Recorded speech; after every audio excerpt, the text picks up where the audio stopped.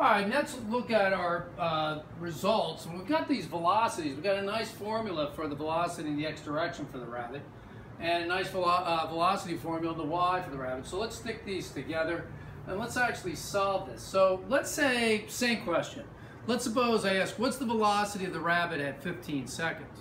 So all we've got to do is plug in some numbers right here.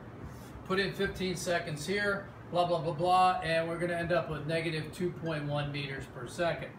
Same thing here. If we have 15 seconds, we plug that in, and we're going to end up with a positive 2.5 meters per second.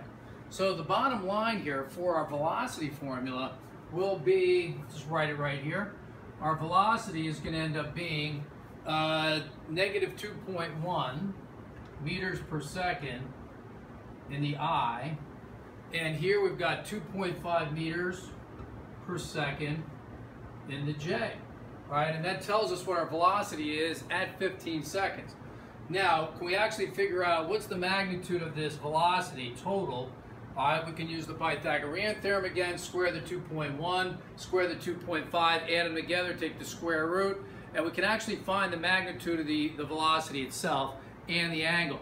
I'll leave that up to you once again to do that. So I'd appreciate if you actually follow through and then figure out what those values are. All right, now our next thought is, let's take a look at acceleration. All right, now we take a look at acceleration. All right, we know that the acceleration, let's say average is the change in v over the change in t. So if we write that down, we can think about that in terms of the vectors themselves. So we've got here, this is a velocity vector now, We've got the change in velocity we have to worry about in the x divided by the change in time in the i. Well, is it possible that the thing is actually changing its velocity in the y direction? Well, we better put that down.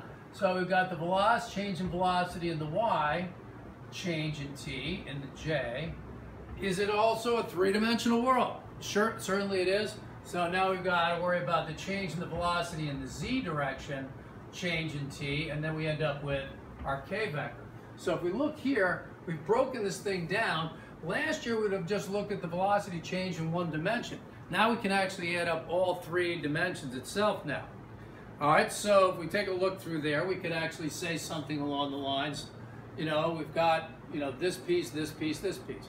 All right, now let's take a look at the instantaneous acceleration.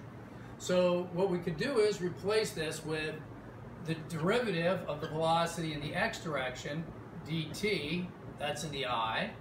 And here we could actually take a look here, instead of saying the change in velocity in the y direction, we could say d vy sub y dt, that's in the j. And then here we have d v in the z dt, and that's going to be in our k direction. So now we have a nice little formula for the instantaneous acceleration as well. All right, now if we take a look, let's just try a little simplification. This is going to be the acceleration in the x direction, i, plus the acceleration in the y, in the j, and then this will be our acceleration in the z, okay, and it's in the k direction as well. So if we look there, we've got ourselves a nice little formula for that.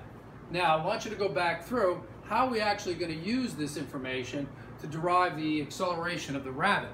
Let's say again at 15 seconds. See if you can work that through.